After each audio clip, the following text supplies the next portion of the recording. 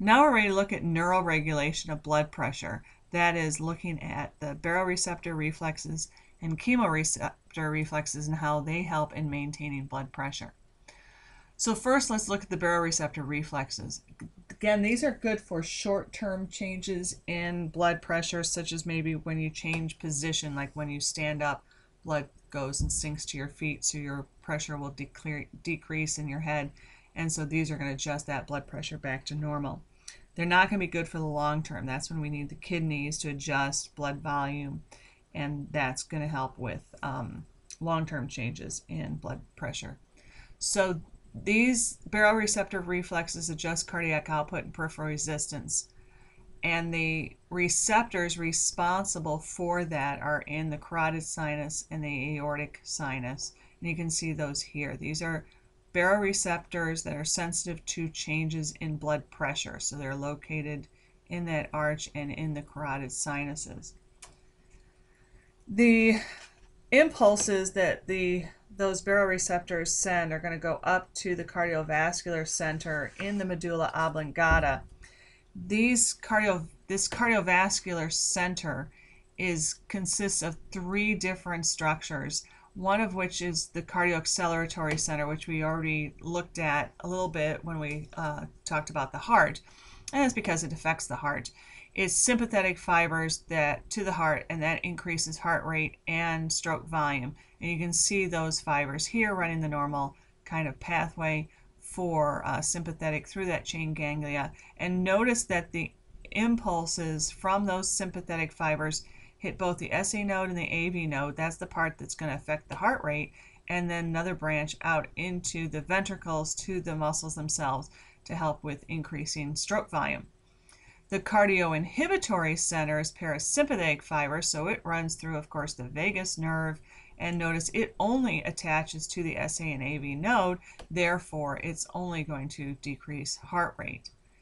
The vasomotor center is another one um, that's going to adjust the blood vessel diameters, mostly in the arterioles, we see this with um, sympathetic control so that these, and it's not pictured in here at all, but the uh, sympathetic fibers run out to the blood vessels and they always have the vessels partially constricted. So even when you're at rest, your blood vessels are going to be partially constricted that's the vasomotor tone. And so then now all we have to do is either increase the number of sympathetic um, impulses going there and we'll get more vasoconstriction, or if we send less sympathetic stimulation, we get vasodilation. So I, that way I don't need parasympathetic to counteract what the sympathetic's doing.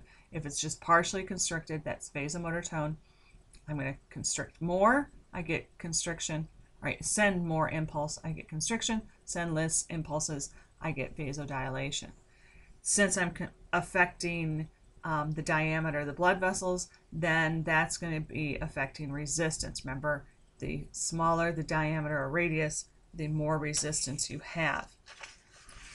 So this baroreceptor reflex is a typical negative feedback type of reflex where you see, for example, on this slide, a rise in blood pressure is sensed by the baroreceptors in the carotid sinus or aortic arch, and that's going to end up stimulating the um, CIC to lower heart rate. It's going to end up inhibiting the CAC to lower heart rate and stroke volume.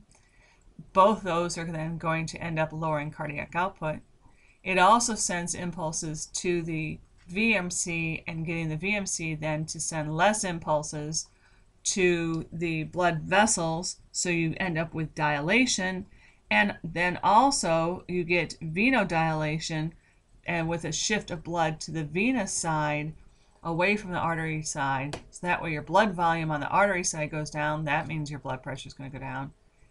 As well as having lower resistance and lower cardiac output is also going to end up, remember, lowering blood pressure. Remember, because it's cardiac output and resistance that end up um, affecting blood pressure. Or we can go the other direction. That is, we have a decline in blood pressure. Again, those baroreceptors are sensitive to that. So then they're going to end up stimulating or causing the VMC to be stimulated and sending more impulses, causing vasoconstriction. The CAC is going to be stimulated to increase heart rate and force a contraction. The CIC is going to be inhibited, so it so the heart rate goes up. Both heart rate and stroke volume then increase cardiac output. Vasoconstriction leads to higher peripheral resistance. Both of those then are going to end up right um, increasing, and that's going to restore blood pressure back to normal. Now the chemoreceptor reflexes are used in in the sense of when like say your muscles are actively being used. So if there's an imbalance, say and decrease in pH or oxygen levels or elevated CO2 levels in the cerebral spinal fluid, so that we know systematically, that is throughout their whole body, there's a problem going on. This isn't considered local or autoregulation, kind of the uh, metabolite mechanisms that are triggered with autoregulation. This is a systemic type of look at it. If your blood pressure goes down, you're not getting oxygen delivery to all your tissues, or maybe you stop breathing and you're not getting oxygen delivery, then you're going to have a, a decreased pH. You're going to have low levels of oxygen. You're going to have a buildup of CO2 in the cerebral spinal fluid. Those types of things then trigger these chemoreceptors to send impulses to a huge variety of things. One is respiratory centers are going to be stimulated so you increase breathing rates, which makes sense. You want to try to get the oxygen delivery through the lungs. Also, it's going to excite the CAC and inhibit the CIC, thereby increasing cardiac output. Since I increase cardiac output, I increase blood pressure. Those chemoreceptors are also going to lead to vasomotor center being stimulated to get vasoconstriction. Vasoconstriction also increases blood pressure. So that way we deliver oxygen better to our tissues because our blood pressure is up. We're going to be pushing the blood around better. So if we have increased pH, so that's going to end up increasing pH, oxygen levels, and decreasing CO2 levels in blood to get it back to normal. So that ends this video lecture then on neural regulation of blood pressure. The next video will look at the hormones that are uh, in charge of regulating blood pressure.